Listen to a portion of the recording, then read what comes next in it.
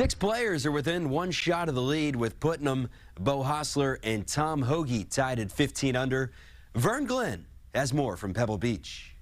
But Charlie, every time I come down here, it's a constant reminder as to how good these pros are. And if you're an amateur in the field, I don't care if you're an elite athlete, top of the Hollywood world, yeah, you got some confidence, but you get between those ropes, reality sets in.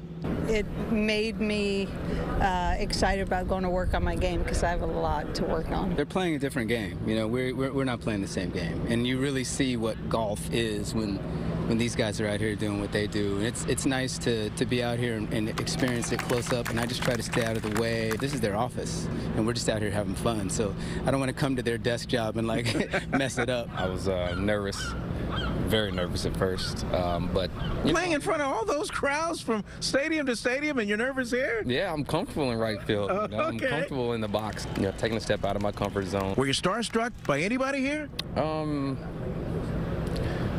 No. No, okay. Um, no, I wasn't starstruck. It was cool to see people that you see on TV. Right. Um, but I, I wasn't starstruck. it's awesome all the way around, obviously, taking it all in. There's a long time.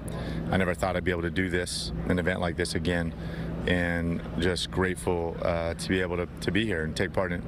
Sure to be a shootout, $1.4 million check to the winner coming off of 18. That'll do it from the Monterey Peninsula.